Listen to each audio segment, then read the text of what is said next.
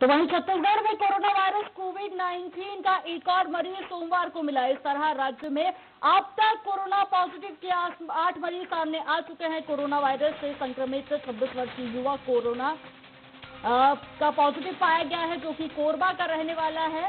London से वापस लौटा था, जिसके बाद उसे क्वारंटाइन में रखा गया था। इस दौरान युवक में कोरोना वायरस संक्रमण के लक्षण उभरने पर टेस्ट कराया गया। जिसका नतीजा पॉजिटिव निकला। मरीज़ को मंगलवार को एम्स में भर्ती कराया जाएगा।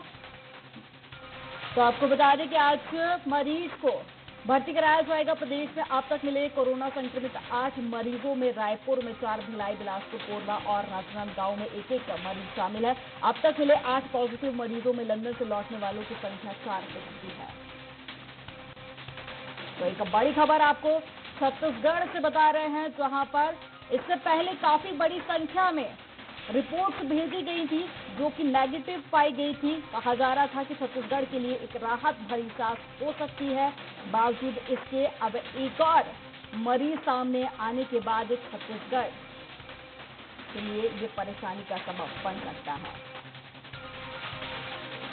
छत्तीसगढ़ में कोरोना पॉजिटिव मरीजों की संख्या अब बढ़कर आठ हो चुकी है।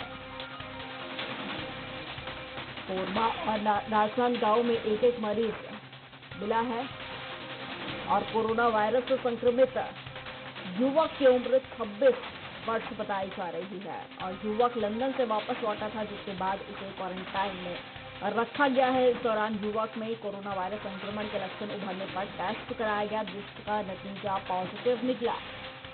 मरीज़ को आज एम्स में एडमिट कराया जाएगा। प्रदेश में अब तक मिले कोरोना संक्रमित आठ मरीजों में रायपुर में चार, भिलाई, बिलासपुर का और राजनांदगांव में एक एक मरीज़ शामिल है। अब तक मिले आठ पॉजिटिव मरीजों में।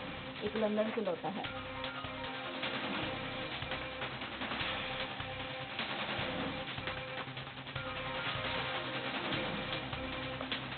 और अब हमारे साथ में छत्तीसगढ़ के संपादक मनोज सिंह बघेल हमारे साथ में जुड़ गए हैं। मनोज जी, कल जैसा कि एक बड़ी संख्या में रिपोर्ट्स आई थी, सारी नेगेटिव थी तो उसके बाद छत्तीसगढ़ के लिए एक राहत भरी सांस थी। पर एक बार फिर से अब कोरोना का पॉजिटिव मरीज़ मिल गया है तो कह सकते हैं छत्तीसगढ़ के लिए फिर से मुश्किलें बढ़ गई हैं। निश्चित तौर पर जैसे जैसे जाँच रिपोर्ट आ रही है वैसे वैसे नए मामलों का खुलासा भी हो रहा है। कई लोग क्वारंटाइन में रखे हैं जिनकी रिपोर्ट आनी बाकी है। और इसी के मद्देनजर कल रात को एक केस नया केस सामने आया है। कोरबा में एक छात्र जो लंदन से लौट कर आया था आ, उसकी जाँच की गई तो उसका रिपोर्ट पॉजिटिव आया जबकि आश्चर्यजनक बात यह है कि उसकी गतिविधियाँ सामान्य है न उसको बुखार है न उस तरह से सर्दी खांसी है। इसके बाद भी जब उसकी जाँच की गई तो जाँच रिपोर्ट चौंकाने वाला था। उसमें वो पॉजिटिव पाया गया। दो उसके अलग अलग सैंपल लिए गए थे। दोनों रिपोर्ट पॉजिटिव बताए जा रहे हैं। तो इस तरह से ये आठवां केस है और खास बात यह है कि कुल जो आठ केस आए हैं उनमें चार केस जो है वो लंदन से लौटकर आने वाले छात्र छात्राओं का है। तो सबसे ज़्यादा जो अभी की जो संभावना दिख रही है लंदन से करीब सतहत्तर लोग आए हैं, जिनकी सूची सरकार ने जारी की है और इन सब की जाँच करने के निर्देश परसों रात को ही जो है स्वास्थ्य सचिव निहारिका पारिक ने दिया था, जिसके बाद इन जो लिस्ट में जिन जिन लोगों के नाम शामिल थे, उन सबके घर पे प्रशासन पहुँचा और सबके सैंपल जो है वो लिए गए हैं और इनकी जाँच में एक और नया केस मिला है जो कि जो छात्र है, कोरबा का रहने वाला है और उसको आज एम्स लाकर उसका इलाज करने की बात जो है स्वास्थ्य विभाग ने कही है। तो इस तरह से कुल आठ पॉजिटिव केस पाए गए हैं और अभी कई जाँच होना है जो खासतौर पे जो लंदन से आए हैं, जिनकी तिहत्तर लोगों की लिस्ट सरकार ने जारी की है, उन सभी की जाँच होना है। तो हो सकता है एक दो और केस इसमें बढ़ जाए। जी। मनोज जी, अभी तक ये कहा जा रहा था कि जो कम उम्र के लोग हैं, अगर उन्हें कोरोना होता है तो वो अपने आप ठीक हो जाएगा। पर ये जो युवक अभी मिला है, उसकी उम्र महज 26 साल बताई जा रही है। तो जो उम्र के दायरे थे, वो कहीं ना कहीं टूटते हुए दिखाई दे रहे हैं।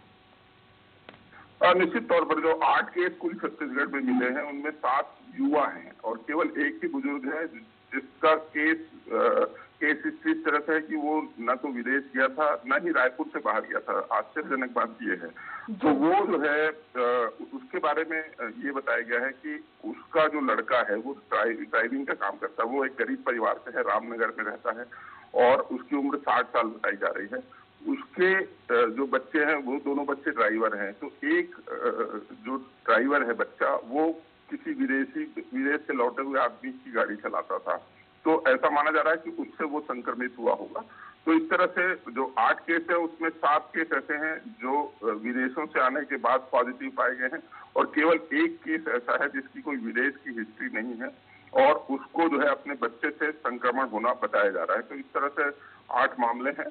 और ये राहत की बात है कि जो स्थानीय स्तर पर संक्रमण नहीं हुआ सबसे ज़्यादा डर सरकार इसी बात से रही है और आम लोग भी इसी डर रहे हैं कि जो। कम्युनिटी इन्फेक्शन है वो ना हो। समुदाय के बीच से इन्फेक्शन होगा तब फिर जाकर स्थिति बिगड़ सकती है और उसके बाद संभालना मुश्किल हो सकता है। यही वजह है कि कल रात एक बार फिर मुख्यमंत्री ने प्रदेश की जनता को संबोधित किया और उस संबोधन में एक बार फिर उन्होंने अपील की कि सोशल डिस्टेंसिंग का कड़ाई से पालन करें। उन्होंने जो है प्रदेशवासियों की तारीफ़ भी की कि जो तीन हफ़्ते के लिए लॉकडाउन किया गया है तो एक हफ़्ते के लॉकडाउन का पीरियड खत्म हो चुका है और इस दौरान सभी ने बहुत अच्छा संयम का परिचय दिया सभी ने नियमों का पालन किया सोशल डिस्टेंसिंग का पालन किया और यदि ये जो ट्रेंड है, ये दो हफ़्ते और रहे तो इससे कोरोना के खिलाफ लड़ाई में हमको सफलता मिलेगी। उन्होंने आह्वान किया कि सरकार हर परिस्थिति में उनके साथ है। जो ऐसे गरीब लोग हैं जो भोजन के लिए जिनको तकलीफ़ हो रही है, उनको सरकार जो है, सहायता करेगी। भोजन उनके घर तक पहुँचाया जाएगा। और उन्होंने अपील की प्रदेशवासियों की कि आपकी जानकारी में जितने लोग ऐसे हैं, जिनको भूख की समस्या है, जिनके पास खाने को नहीं है उनको खाना उपलब्ध कराएँ। यदि संभव हो तो एक जागरूक नागरिक के होने के नाते आप खुद उनको भोजन उपलब्ध कराएँ और यदि आप सक्षम नहीं है तो इसकी सूचना जिस हेल्पलाइन नंबर पर दें और उसके माध्यम से इन गरीबों तक भोजन की व्यवस्था कराएँ और ऐसा करने से जो है सोशल डिस्टेंसिंग का जो पीरियड बताया गया तीन हफ़्ते का वो पूरा होगा और इसके बाद स्थिति में काफ़ी जो है सकारात्मक सुधार होगा। जी चलिए मनोज जी तमाम जानकारी साझा करने के लिए बहुत शुक्रिया आपका।